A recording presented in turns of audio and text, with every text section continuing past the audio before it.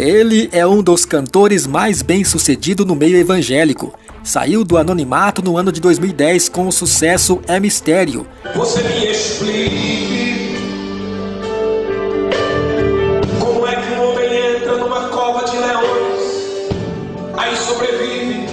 E Samuel Mariano, o cantor nordestino, atingiu seu maior objetivo, que é o projeto Quero Almas, sua vida é de inteira comunhão com Deus, com louvores que já levaram milhares de pessoas a se entregarem a Jesus. É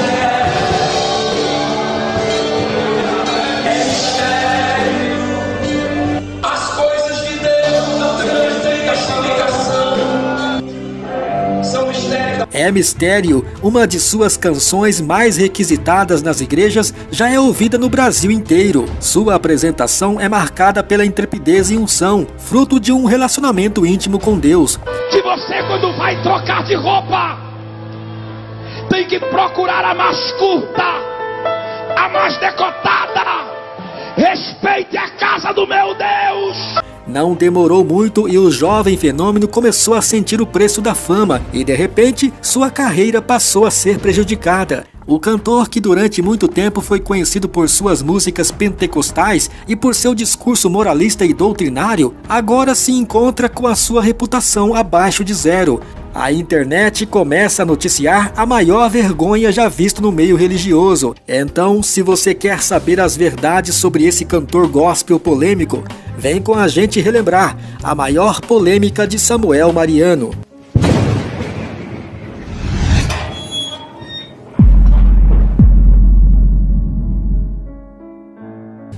Uma das maiores polêmicas de Samuel Mariano ocorreu no ano de 2018 mais precisamente no final do mês de janeiro. Algumas fotos comprometedoras de Samuel Mariano vazaram na internet. O famoso caso das nudes, que é uma história que envolveu ameaças graves e teve grande repercussão negativa no meio gospel. Segundo as informações que circulavam na época, as tais fotos haviam sido enviadas para alguém muito próximo de Mariano, a saber, uma mulher evangélica de Brasília. Rapidamente, um site gospel publicou um vídeo da tal mulher se pronunciando sobre o caso.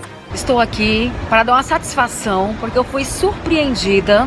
Minhas redes sociais estão sendo bombardeadas por perseguidores que eu não sei, querendo o meu mal e querendo o mal do pastor Samuel Mariano. E eu não sei como a minha imagem e o meu nome está sendo como a causadora dessas fotos.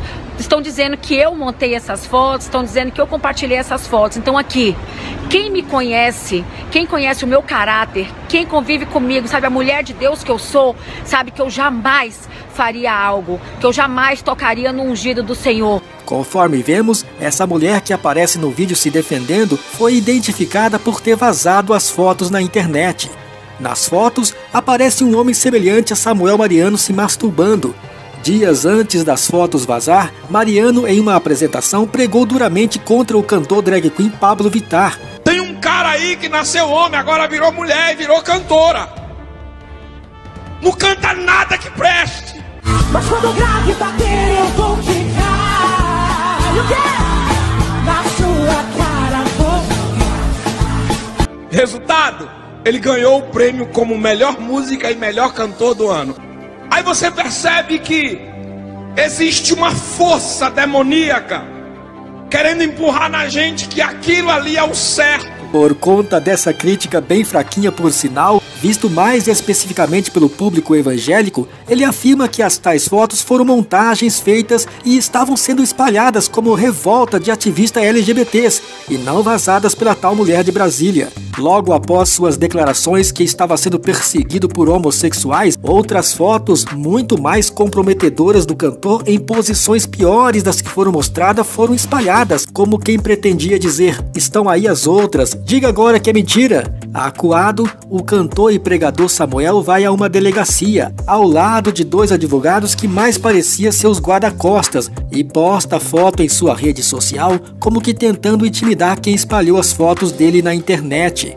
Diz que abriu um BO e que a polícia já estava na cola dos responsáveis. Em breve mostraria para todos que ele seria inocente e que tudo seria ataque à sua imagem de homem de Deus. O caso ganhou repercussão nacional no meio gospel e fãs se decepcionaram com Samuel Mariano. Com isso, Mariano perdeu muitas agendas.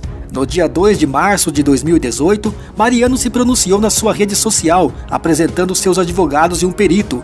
O Ricardo Caíres dos Santos foi o responsável pela perícia nas suas fotos em poses sensuais.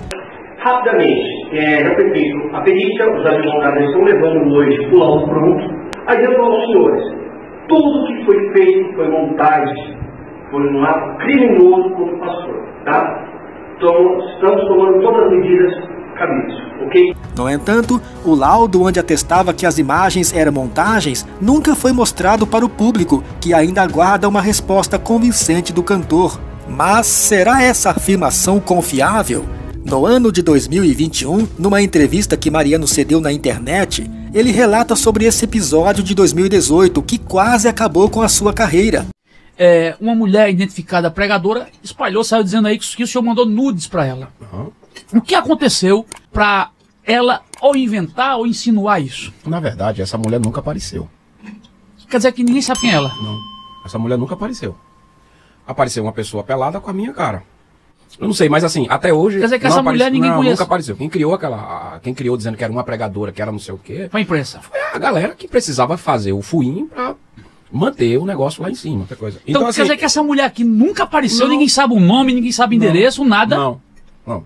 Conforme ouvimos, Samuel Mariano disse que a mulher nunca apareceu. Mas quem é essa tal mulher? Lembra do vídeo publicado por um site gospel? Então, essa é a mulher e ela se chama Margilene Carvalho. No Facebook dela há um vídeo que Samuel Mariano confirma que eram amigos próximos. Vamos ver. Oi pessoal, tudo bem? Eu sou Samuel Mariano. Eu sei que o cabelo não parece ser o meu, mas é o meu. Deixa eu falar para vocês desse grupo aqui da querida amiga Marge Carvalho. Ela que tem um trabalho excelente com grupos de WhatsApp que está evangelizando também. Então, tudo aquilo que tem evangelismo eu, eu sou disponível a dar o maior apoio. É, que o Senhor abençoe vocês, que o Senhor guarde, guie, que os vídeos que têm chegado aí no grupo de vocês, o nosso Comendo Bíblia, tenha edificado a sua vida. Marge, Deus te abençoe. Eu acredito que você está construindo a sua história e está ficando uma história muito bonita, pois tem muita gente recebendo palavra de Deus através de você. Ó, oh, Beijo no coração, mas aqui vai o meu carinho, o meu abraço. Deus abençoe você.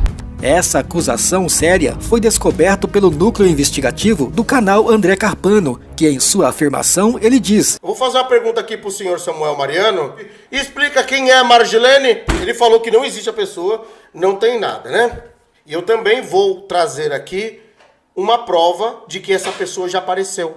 Quem é essa mulher? Margilene. Aqui vazou as fotos. Ela trabalhava com eventos antigamente. E ela, como era fã de Samuel Mariano, conseguiu uma aproximação com ele, ao ponto de ir em muitos lugares onde Mariano estava, principalmente lá uh, em Brasília. Um detalhe muito importante é que o Samuel Mariano, o astro, dava muitos presentes para ela, né? Como por exemplo, bolsas, bolsa da Carmen Steffes ainda, né? Perfumes caros, conversando falaciosamente, ele conseguiu levar ela no bico. Mariana, explica aí quem é Marge Carvalho. Tu não foi machão para falar? Que ninguém sabia quem era ela? Que não existia? Na verdade, essa mulher nunca apareceu. Na verdade, essa mulher nunca apareceu. E aí? Agora explica. O cantor da Paraíba se viu totalmente queimado no meio gospel, mas teve um grande apoio do Reuel Bernardino, que na época ainda era presidente do maior evento de Camboriú. Este deu uma força a Mariano para cantar nos Gideões daquele ano.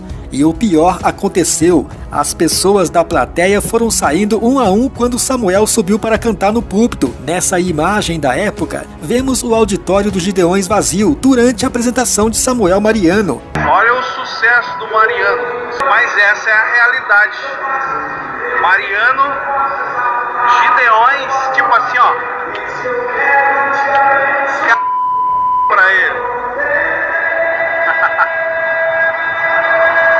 Essa teria sido uma das maiores vergonhas que o megastar da música gospel teria passado na vida, além das suas supostas imagens nu que viralizaram na internet naquele ano de 2018. Tchau. Diante da repercussão negativa, Matos Nascimento se pronunciou publicamente, lamentando o que houve com Samuel Mariano. Eu quero falar sobre Samuel Mariano. Eu é, recebi, eu não vi porque eu não ando vendo essas coisas, eu recebi aqui umas imagens é, supostamente dele. Eu conheço ele de vista, eu não tenho muita intimidade com ele. Hoje em dia existe uma tecnologia que monta todas as coisas farsas para prejudicar uma outra pessoa. Escuta, Samuel Mariano tem ganhado ganho como queiram muitas almas para o reino de Deus. O projeto dele é um projeto que mexeu com o inferno. Eu sei que isso vai ser superado porque quem conhece o seu trabalho sabe da sua hombridade. E aquele que não tem pecado atire a primeira pedra. Várias igrejas, pastores, protestantes de várias congregações passaram a duvidar do pregador, não só pelas primeiras fotos, como também pelas demais em que o mesmo é exibido completamente nu, com seu pênis na mão masturbando. Na época, pastores, pregadores, cantores, missionários, enfim, uma legião de religiosos de diversas congregações afirmaram que as imagens que eles viram não se tratavam de montagens, seriam fotos reais de Samuel em poses picantes. Naquele tempo e até hoje não apareceu nenhuma prova, nem mesmo em seus pronunciamentos exibidos em suas redes sociais, que comprove que as fotos são montagens. O que se vê são apenas fala dele, afirmando ser inocente. Não foi mostrado e muito menos provado quem eram as pessoas por trás das supostas montagens. O cantor não diz quais são as pessoas ou os ativistas, nem onde estariam os tais ativistas gays revoltados contra ele. Apenas acusou, deixando uma enorme lacuna, bem como uma enorme dúvida. 2018 foi a, foi a maior pancada que eu já levei. Será que Samuel Mariano estava mentindo? Vou falar duas frases e encerro. Eu não sou o santo que eu queria ser, mas não sou o demônio que alguém pinta. E lembre-se de uma coisa: para os amigos, você não precisa explicar nada. E para os inimigos, não adianta explicar nada. Na época, muitos chegaram até a dizer que seria melhor e mais aconselhável, além de humildade de sua parte, que eu mesmo pedisse desculpas pelo erro de maneira a acabar com tudo isto, mas, orgulhoso como ele sabe ser, ele preferiu mostrar uma outra face. Em algumas chamadas, o cantor aparece em uma possível chamada de vídeo, o que nos leva a perguntar: existem montagens tão perfeitas ao ponto de o print que vem de chamada de vídeo serem montadas a tal ponto? Para quem viu as fotos, não tem dúvida que ali não havia montagem. E também não vou estar ligando com críticos, principalmente essa racinha de internet, que é um bando de desocupado. Sobre os pronunciamentos dele, o que ele aparece ladeado por três pessoas que seriam dois advogados completamente desconhecidos, mas que ele afirma que os dois seriam os requisitados do país, e um tal de perito que não apresentou nenhuma prova, nenhum documento, nenhuma imagem comprovando o contrário. Até então, tudo a respeito das fotos atribuídas a Samuel Mariano, em que ele diz que são montagens, continua sem provas, tendo fortes indícios de que ele estaria encobrindo uma mentira fácil de pegar nas mentes daqueles que preferem aceitar tudo às cegas do que analisar à luz da razão todos os fatos, sem usar da religião. Não podemos negar que existem pessoas que podem fazer montagens para prejudicar seus desafetos, mas daí a pessoa ser exibida com seu corpo completamente pelado, com seu pênis na mão, masturbando-se para uma câmera em chamada de vídeo, conforme as imagens foram pintadas e espalhadas, há uma enorme diferença. Detalhes como altura, cabelo, rosto em que o mesmo aparece no balcão de um banheiro com cara de ter sentido prazer naquele instante. Bom, é bem estranho e bem difícil de dizer que as fotos são montagens. Eu sei que dói, eu sei que dói, mas aguenta firme, é só mais uma noite, isso vai passar. Acredito que muito ainda se falará desse assunto nas redes sociais, tanto favorável ao cantor quanto contra ele. Para de entrar na internet para estar tá criticando o nosso trabalho. Se não tem o que elogiar, é melhor nem comentar, tá bom? Até lá, o melhor conselho é nunca acreditar em tudo, em qualquer coisa ou pessoa às cegas.